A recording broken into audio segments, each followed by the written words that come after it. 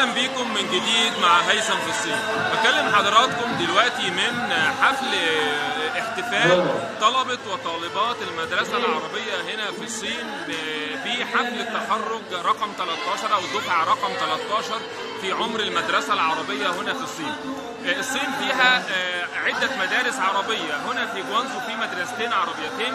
منها هذه المدرسة وتسمى المدرسة العربية هنا في جوانزو والتي تقوم بتدريس المنهج السعودي وشهادتها هنا معتمدة من السفارة السعودية في بكين.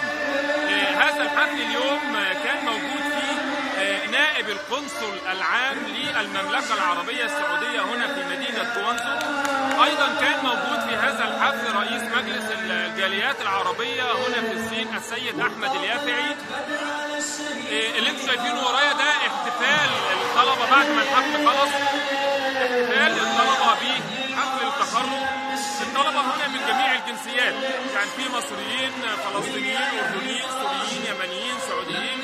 من جميع الجنسيات تقريبا موجود هنا الطلبة العرب وهم أبناء الجالية العربية هنا في مدينة جوانزو والتي يبلغ عددها يزيد عن 100 ألف إنسان موجودين هنا في المدينة التجارية الأشهر هنا في جنوب الصين.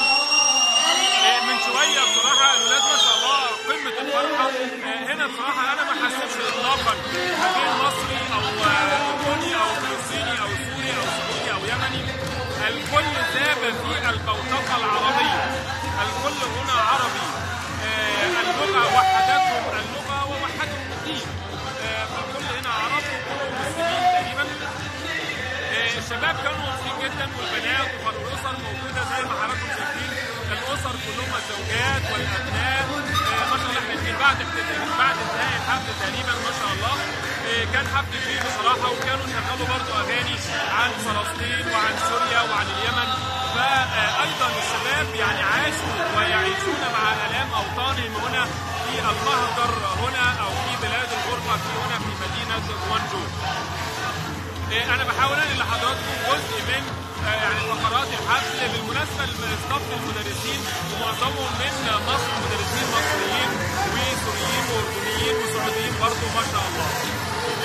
كنت مع هيثم الصين نقلت لحضراتكم فقرة سريعة هنا من قلب هذا الحدث وهو حفل احتفال تخريج الدفعة 13 لأبناء الثانوية العامة